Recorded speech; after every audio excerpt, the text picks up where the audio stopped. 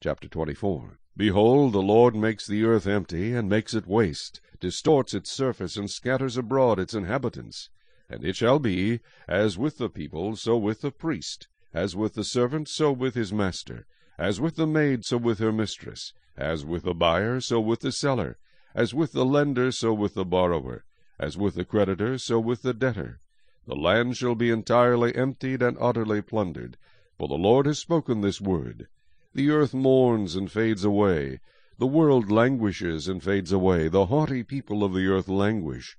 The earth is also defiled under its inhabitants, because they have transgressed the laws, changed the ordinance, broken the everlasting covenant. Therefore the curse has devoured the earth, and those who dwell in it are desolate. Therefore the inhabitants of the earth are burned, and few men are left. The new wine fails, the vine languishes, all the merry-hearted sigh. The mirth of the tambourine ceases, the noise of the jubilant ends, the joy of the harp ceases. They shall not drink wine with a song. Strong drink is bitter to those who drink it. The city of confusion is broken down. Every house is shut up, so that none may go in. There is a cry for wine in the streets. All joy is darkened. The mirth of the land is gone.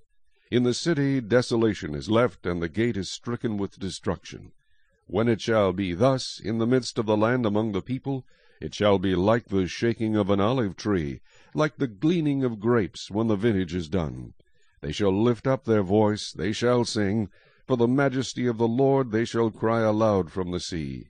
Therefore glorify the Lord in the dawning light, the name of the Lord God of Israel in the coastlands of the sea. From the ends of the earth we have heard songs, Glory to the righteous. But I said, I am ruined, ruined, woe to me!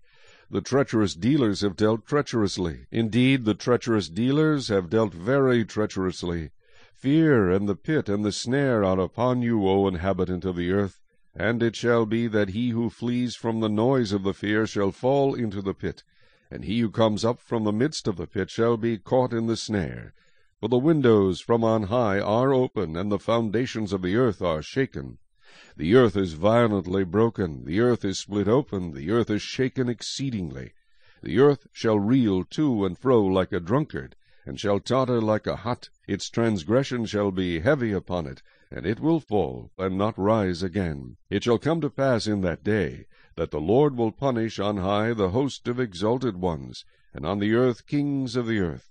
They will be gathered together, as prisoners are gathered in the pit, and will be shut up in the prison, after many days they will be punished. Then the moon will be disgraced, and the sun ashamed, for the Lord of hosts will reign on Mount Zion and in Jerusalem, and before his elders gloriously.